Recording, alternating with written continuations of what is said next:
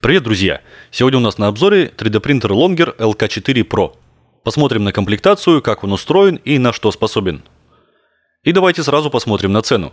Сейчас Longer LK4 Pro стоит 230 долларов. Кстати, есть еще модель немного попроще. Это просто LK4. Тут есть ряд отличий помимо сенсорного дисплея, но стоит он всего 180 долларов.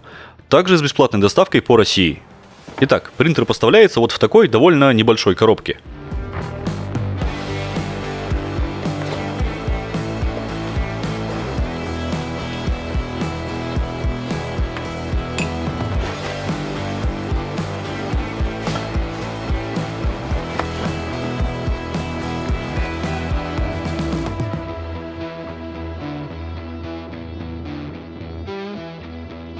комплекте идет несколько шестигранников, ключ, флешка с картридером, пробник филамента и инструкция по сборке на пяти языках.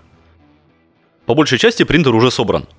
Это металлическая каретка оси X с хатендом и системой охлаждения. И тут мы сразу видим, что диффузор обдува смотрит прямо на сопло, что не совсем правильно. Такой обдув будет сильно охлаждать не только сопло, но и нагревательный блок, из-за чего температура будет сильно плавать, что в итоге скажется на качестве печатаемых моделей. Обдувать нужно в основном печатаемую модель и немного самый кончик сопла. Так что этот диффузор нужно будет заменить в первую очередь. Тут у нас основание с блоком питания, платой управления в боксе и собранной осью Y, на которую осталось только установить стол.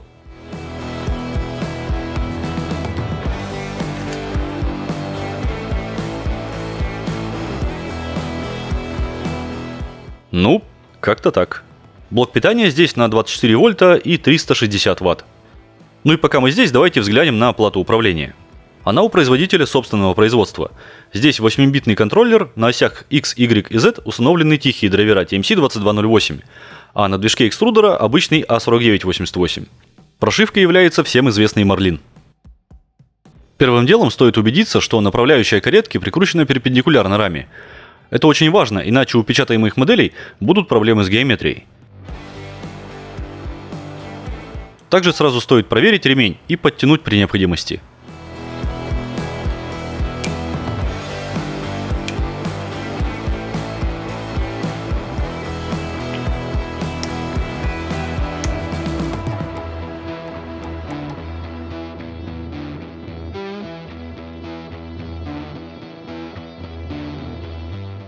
Это у нас левая каретка оси Z с закрепленным на ней движком оси X и экструдером. Подающий механизм тут пластиковый, и к нему прикручен датчик филамента.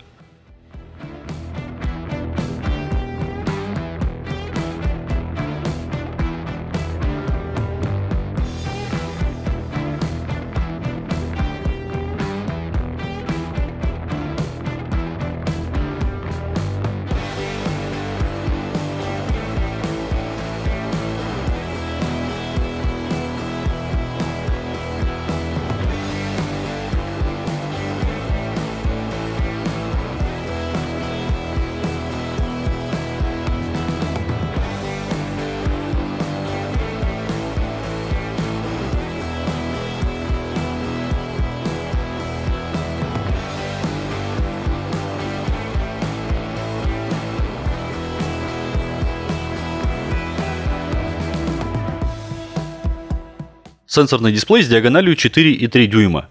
Его можно установить как слева, так и справа. Как будет удобнее.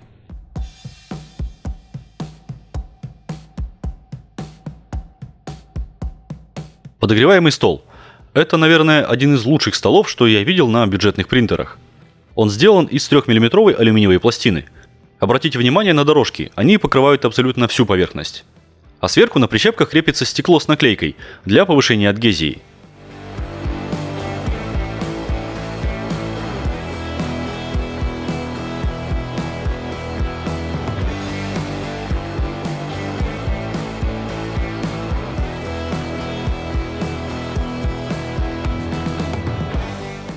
Вовремя заметил, что прикрутил верхнюю балку задом наперед.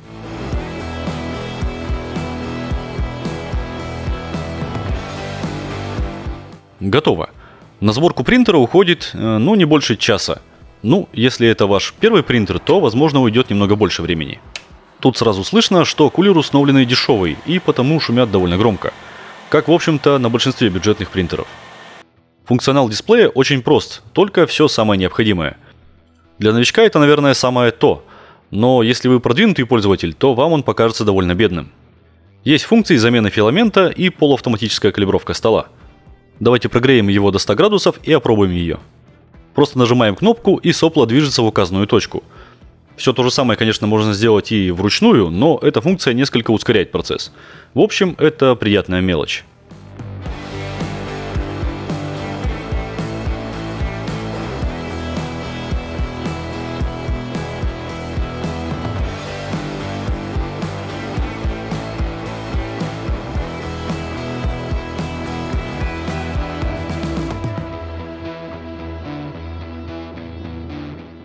Я не стал даже пытаться печатать с заводским диффузором обдува, а сразу напечатал новый диффузор, найденный на Thingiverse.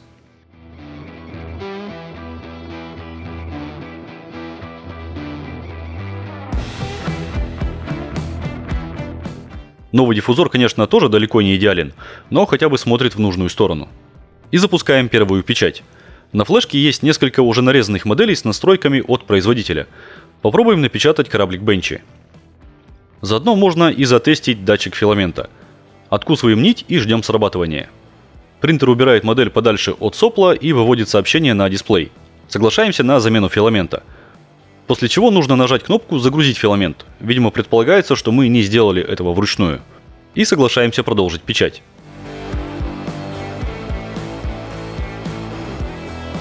Получилось, ну, довольно посредственно на самом деле – но, во-первых, мы не знаем, какие тут настройки, а во-вторых, видно, что охлаждения все еще не хватает. Примерно отсюда я врубил охлаждение на полную, и слои выше легли уже, ну, несколько лучше. На флешке, помимо тестовых моделей и мануала, есть старая версия слайсера Кура, которую я даже не стал устанавливать. Вместо этого просто создал э, новый профиль в слайсере Repeater Host. И просто от балды, без каких-либо тестов, набросал какие-то настройки скорости. Так, как сделал бы это новичок, например. Давайте посмотрим, что получится. Напечатаем пару калибровочных кубов.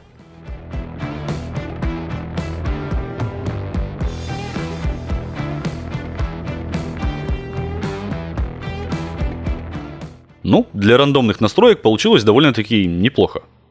У этого принтера есть одна очень полезная функция – это возобновление печати после отключения питания. Давайте посмотрим, как она работает. Вырубаем, ждем около минуты на всякий случай и включаем снова – Принтер предлагает либо продолжить, либо отменить печать. Пробуем продолжить. Нагреватели прогреваются до заданных температур, после чего каретки X и Y отрабатывают по концевикам и печать продолжается.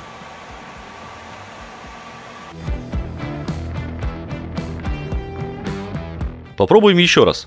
Я попробую убрать модель подальше от сопла, чтобы избежать наплывов пластика.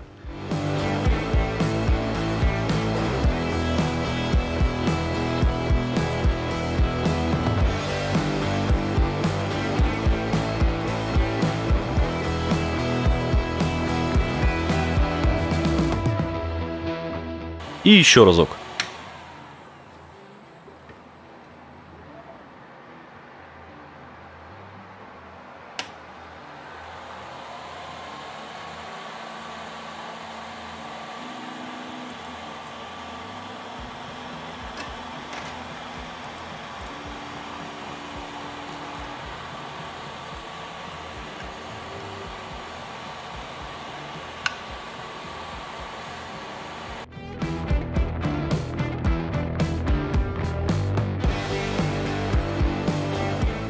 И вот что получилось.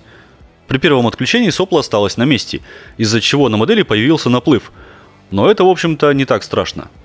Также заметна недоэкструзия, потому что пластик просто вытек из сопла. Второе отключение. Здесь я убрал сопло от модели, в результате чего из него вытекло еще больше пластика. Сопло заполнилось им только под конец слоя. И третье отключение. Здесь я вручную заполнил сопло после возобновления печати – Видимо, немного перестарался, из-за чего этот слой получился шире. Но зато ничего уже не отваливается. Выводы сделаем чуть позже, а пока напечатаем еще несколько тестовых моделек.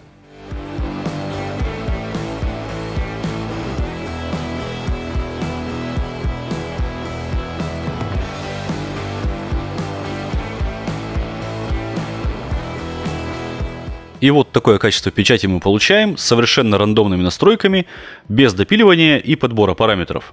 Не идеально, конечно, но в целом довольно неплохо. Итак, что же можно сказать об этом принтере? Ну, в общем и целом он мне понравился. Это, конечно, не идеальный принтер, он все-таки из бюджетных, но здесь определенно есть с чем работать. Пробежимся по плюсам. Нормальная металлическая рама, которая уже стала стандартом для таких принтеров, что само по себе здорово, есть. Нормальный, стандартный, достаточно мощный блок питания. Есть. Некоторые производители подобных принтеров устанавливают слабые блоки питания, из-за чего бывают проблемы со временем прогрева и удержанием температур. Здесь же с этим все в порядке. С виду нормальная плата управления. По крайней мере здесь сменные драйверы. И большой плюс, что уже с завода это тихие драйверы, и менять их не придется. Это на самом деле огромный плюс, потому что на некоторых подобных принтерах от других производителей устанавливаются платы со встроенными драйверами, и они совсем не тихие. А заменить их просто не получится, только если менять плату целиком. Здесь этой проблемы нет. Довольно неплохой сенсорный дисплей. Несмотря на небольшое количество функций, пользоваться им довольно удобно. Наверное, потому что он очень похож на смартфон. Датчик окончания или обрыва филамента и функция возобновления печати. Это очень приятные мелочи, которые действительно могут выручить и спасти печатаемую модель, ну, в некоторых случаях. Нужно, конечно, потренироваться в их использовании и не забывать заполнять сопла пластиком при возобновлении печати в обоих случаях, чтобы избежать вот таких проблем. Хотя подобная ваза, которая печатается всего в один периметр, это, наверное, самый сложный случай для прерывания и возобновления печати, потому что здесь нет ни внутренних периметров, ни заполнения. Хороший подогреваемый стол. Здесь достаточно мощный нагреватель, благодаря чему стол прогревается достаточно быстро и равномерно – а наличие в комплекте стекла – это большой плюс. Когда наклейка износится, можно либо заменить ее, либо просто снять и пользоваться стеклом, как обычно. И не нужно никуда ехать, чтобы вырезать стекло подходящего размера на заказ. А теперь о минусах. Как по мне, то серьезный минус тут только один – это ужасная система охлаждения. Радиатор Хатенда обдувается маленьким и очень шумным 30 миллиметровым кулером, а обдув детали односторонний на одном 40 миллиметровом кулере, чего явно недостаточно – Благо, кулеры стоят недорого и установить еще один не составит труда. А на Thingiverse есть уже несколько готовых, довольно-таки неплохих решений, как с одним, так и с двумя кулерами. Причем не только под обычные кулеры, но и под так называемые турбины или улитки. Также можно поискать апгрейды для принтера AlphaWise U30 Pro. Это абсолютно тот же самый принтер, просто под другим названием. Если бы здесь с завода стояла хорошая система охлаждения с двухсторонним обдувом, то это, наверное, был бы один из лучших принтеров такого типа в этой ценовой категории. В общем, судя по всему, это очень неплохой вариант в качестве первого принтера. Немного повозиться придется только с системой охлаждения. Но, как я уже говорил, это небольшая проблема, да и встречается она на большинстве бюджетных принтеров. Со всем остальным никаких проблем быть не должно. По поводу качества печати. Я уверен, что из этой штуки можно выжать гораздо больше – но первым делом нужно привести в порядок систему охлаждения. А подходящих кулеров на 24 вольта у меня под рукой прямо сейчас, к сожалению, нет. После этого апгрейда уже можно будет заниматься подбором оптимальных скоростей и температур, а также возиться с ремнями, прижимными роликами, чтобы все это бегало идеально. Потому, чтобы вы могли сформировать более четкое представление об этом принтере, я предлагаю вам посмотреть еще несколько обзоров от моих коллег. Ссылки будут в описании. Вот такой получился обзор. Если этот принтер вас заинтересовал, ссылка на него также есть в описании под видео. Не забудьте его оценить и оставляйте комментарии. Всем удачи и пока!